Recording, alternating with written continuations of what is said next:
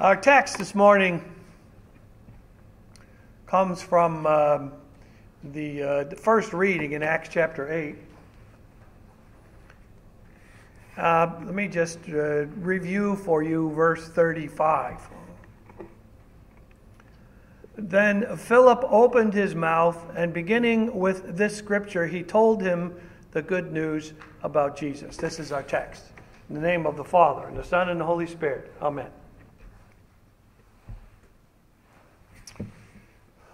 Now, I know this is going to seem a little disconnected, but it's not my problem because it was my idea in the first place. Okay, so I, uh, when I was uh, still in high school, I, um, I got a job as a, a porter in a men's clothing store.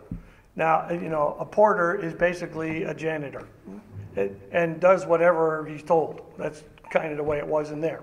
So, uh, when the tailor was done working on something, I had to put it in the steam press and get it ready for delivery. And when there wasn't any of that to do, I was supposed to um, sweep up in the store uh, to you know pick up any debris or dust or whatever. And if that was done, then you know sometimes I would have to go. I don't know what it is about salesmen, but for some reason when they go in the in the closet where all the shoes are, they just go you know all over the place with them.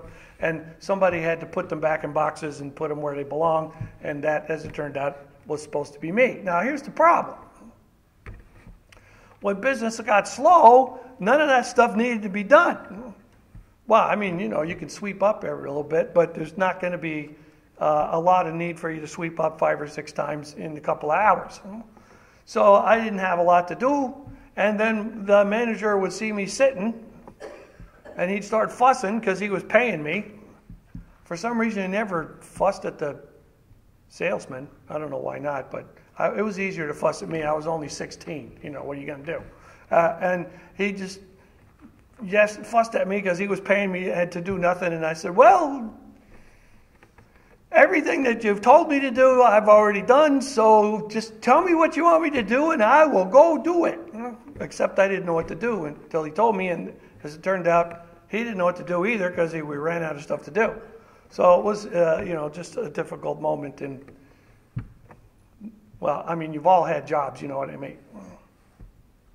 So here's poor Philip in kind of a similar place. Uh, the, the, Holy Spirit had uh, taken him up to Samaria. It was before this reading. And in Samaria, he, he uh, taught people and baptized them and such. And there was some difficulty with that uh, because everything wasn't going the way it was supposed to because the Holy Spirit was busy not telling him what was going on. So he didn't know what else to do. So then uh, at this time, uh, uh, an angel of the Lord, says, told him to go to uh, down to the Gaza Road, which is a, a, a pretty healthy walk from Samaria, and um, he, he was supposed to go uh, next to this Ethiopian eunuch who was riding in a fancy chariot, apparently. And, and this guy is a uh, a fairly powerful official in the, in the land of Ethiopia. He's the, the treasurer or some such thing. And he himself is uh, coming from Jerusalem. He'd been there to worship, it says. And he was on his way home. And so Philip was supposed to go and uh, go with this guy. Or at least that's what the angel told him. So it, he, he really didn't know anything about the where he was supposed to go until some element of divinity told him. Uh, he didn't know why he was going because you don't know until you get there. And, and he didn't know even when he was supposed to do anything because somebody had to tell him to go. Uh, but see, when he, when he got there, he knew the very basics of how he was supposed to act, only because faith and compassion that the same Holy Spirit uh, put in him uh, showed him what to do or told him what to do, depending on circumstances. It wasn't anything fancy. Uh, he would talk to people and he'd baptize them, and that was that was it because he he knew how to do that. uh, you can kind of see he, he's really not uh, any better informed than anybody else. So, uh, so I, I, mean, well, have you figured it out for yourself? I guess is the big question. Do you, I know you want to serve God. Uh, I suppose you might qualify and say, as long as it's not too difficult or uh, beyond your own perceived skill. Uh, if you know what to do, you're happy to do what you're supposed to do. Uh, the question is, do you know? Do you know where? Do you know why? Do you know when? Well, the answer is no. Not until it's uh, you find yourself there. Uh, or um, are you more or less like Philip? I, I would say probably yes, because you don't know the same kind of things he didn't know, and uh, unless God needs you to do something or say something, and He needs to give you some circumstance uh, and and use the Spirit to key you into action, and and uh, uh, well, and you don't even necessarily know when that is. Understand, Philip is a minister of the faith. Uh, it turns out there's a little question about whether this is Philip the deacon, who is the one we heard from last before this, or Philip the apostle, because uh, he obviously is uh, somebody that worked with Jesus, but I don't know which one it is because it doesn't say. Uh, but obviously he has some idea what's going on, and either one of those two guys, like I said, they're ministers of the faith. They, but they didn't choose anything until uh, he, uh, well, Philip eventually saw someone that needed him because the Spirit took him there and showed him that. And, and, uh, so, are, are, you at least willing to answer an obvious call? I, I mean, that would be hard enough. Uh, Philip was shown what he was supposed to do and he went and did it, but are, are you going to do that?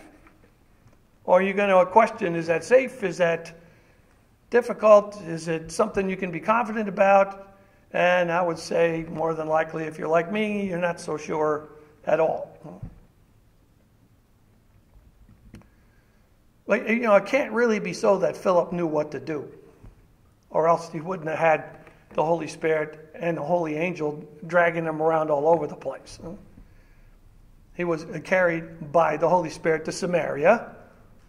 Uh, and, and I can tell you, uh, Philip, being a Jewish guy, would never have gone there ever, because the Samaritans were considered outcasts and lowlifes, and uh, it, they just wouldn't have gone there. But he did, because the Holy Spirit took him there. Right? So, to then uh, he was coaxed to the side of this Gentile eunuch. There's two problems there. First of all, He's a Gentile. He's not a Jew either, uh, which is even worse than being a Samaritan. Uh, you know, basically they assume godlessness, except this guy was a believer of some kind because he had been going to the temple to worship. The other problem is he's a eunuch, which means he's been maimed. Uh, uh sometimes uh, court officials were done that way so that they were uh, less aggressive and more likely to be loyal. But uh, this guy's not a very likely stop for a normal Jewish guy either. Even somebody who's working for Jesus uh, is, is just not a likely possibility. But there he was anyway. And then he was off to Azotus, which is another city up the coast, another particularly long walk, except it says the Holy Spirit took him there. And he found himself there. Apparently, that was necessary too, because he was evangelizing all the way up the coast. Okay. Is any of that by choice? Well, you have to say, not really. it was God being busy. God was being busy with him and he was getting him to do stuff. He wasn't really involved in what he was supposed to do until he got there. Does he know better than you then? Well, you have to say, not really. not really not, uh, not on where he was supposed to go to work. He didn't know what to do for this Ethiopian guy either. Not until he got there, he didn't even know there was a guy. And then, the, the, then he's told to go up by the place and listen to him. So he's told to go over, and he, he knows about Jesus, and he answered questions, which any of you could do. The eunuch is reading scripture and he doesn't understand it, so Philip answers his questions. And then the guy, uh, after Philip was discussing things with him, and who knows how long that was, doesn't really say how long he was with them. Could have been days. And they happened to pass by some water. Uh, and you notice that it said this is a desert place where they were picked up, so there isn't any water there. But uh, at some place along the road, they ran into water, and the eunuch knew enough to ask about baptism, and, and uh, Philip knew enough to do a baptism, so he did that. So, so, he knew to teach him, and he knew to answer his questions, and he knew to baptize him, but, but he didn't know when, where, or why any of that. That was God's problem. Now, you've heard of Jesus. I mean, that's why you're here. You know he was crucified and rose from the dead. That stuff is well within your understanding of things. Uh, if someone asked you about that, you could answer for it. You could say, yep, that happened. This is what it looked like, which is really all Philip did. He was looking at Isaiah 53. That's what that passage from Isaiah was, which is about Christ's death. And he just went from there and explained it. Uh, you could do that. If, uh, if I um, had to guess, the Holy Spirit has helped you, perhaps without even realizing it sometimes, to comfort somebody by word or by deed on behalf of Jesus who is working in your life. Actually, I don't even have to imagine that very much because it turns out I've seen most of you do that very thing myself at one time or another. And, and don't suppose that the circumstances that set you in a place to do that stuff are remotely accidental because it's just like Philip. You didn't know where, and you didn't know when, and you didn't know why until it was in your face because the Spirit brought you there. Because God does that. You have the very same Holy Spirit in you that Philip had. And the Spirit leads you, enlightens you for work in the kingdom, and even helps you with what you should do or what you should say because you may not know your own self, which is why our uh, confidence lags a little bit. But your God given faith actually inspires you to do the things that are blessings of God in this world. In Jesus' name, it's already happening. Your faith does works because the Spirit is in you. You can have full and complete confidence that your God is doing these things because he, he, he loves you and he loves the people that you're talking to, and, and he does it all in you and for you because that's the path of Christ crucified and risen. He wants that for people that are with you. And he loves you and he entrusts you with these things, and his faith and his spirit work them in you, whether you're paying attention or not. You can have confidence in that because He promised He's doing it. And as I said, I've seen Him do it in you. Did, did you notice that God uh, set this Ethiopian fella onto Christ crucified first thing? He's reading uh, a scroll of Isaiah, which probably was a right expensive because people didn't spend a lot of time reading in those days. It cost money to have the scroll because people didn't write stuff down much, and paper was expensive, and, and you had to be pretty well educated to write these things in the first place. But this guy was wealthy.